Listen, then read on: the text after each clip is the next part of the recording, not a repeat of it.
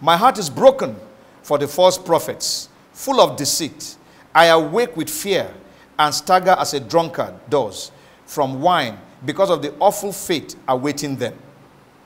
For God has decreed holy words of judgment against them. For the land is full of adultery, and the curse of God is on it. The land itself is mourning, the pastures are dried up, for the prophets do evil, and their power is used wrongly. I'd like us to note at this point in time that when we talk about land and we talk about Israel, we're talking of the church. So let's not think this is an Old Testament thing. God is speaking judgment upon the church as I speak to you now. The priests are like the prophets, all ungodly, wicked men. I have seen their despicable acts right here in my own temple, says the Lord. Therefore, their paths will be dark and slippery. They will be chased down dark and treacherous trails and fall. For I will bring evil upon them and see to it when their time has come that they pay their penalty in full for all their sins. I knew the prophets of Samaria were unbelievably evil, for they prophesied by Baal and led my people Israel into sin. But the prophets of Jerusalem are even worse. The things they do are horrible. They commit adultery and love dishonesty. We are speaking here of Pentecostal pastors. So I, I, I, knew that the priests in the Catholic Church, they, they are horrible. But the ones of Pentecostals are doing is, is, is astounding. I mean, we've, we've, we've, we've seen the Catholic Church and all the, the, the gross, the, the, what do you call them now? Those statements of sexual abuse over, over decades across the world. What the Pentecostal pastors are doing in comparison is nothing. Or rather, in comparison, is, is, is worse. What the Catholic Church, what the Catholic priest did is nothing compared to what the Pentecostal churches are doing. The things they do are horrible. They commit adultery and love dishonesty. They encourage and compliment those who are doing evil instead of turning them back from their sins. How can, I mean, how does a pastor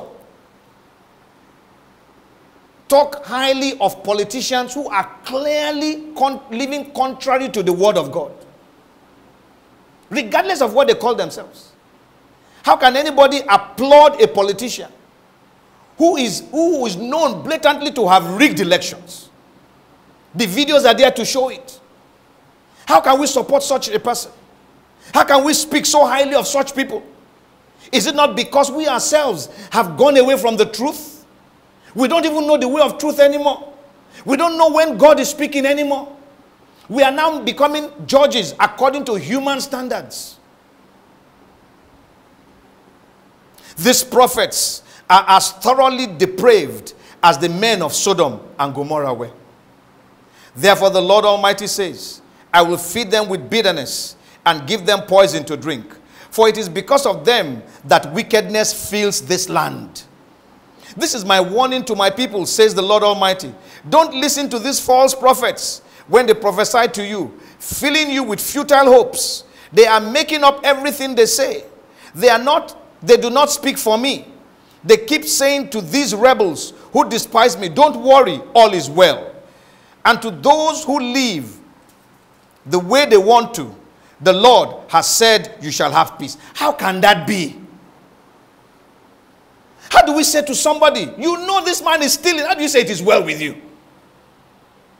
How does a man ask you to pray for him?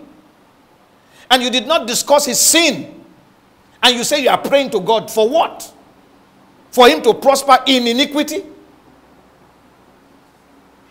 Brethren, there's judgment upon the church, and it has started. We're going to hear things that will shock us.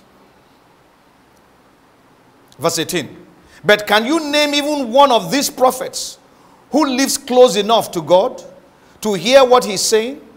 Has even one of them cared enough to listen? See, the Lord is sending a furious whirlwind to sweep away these wicked men.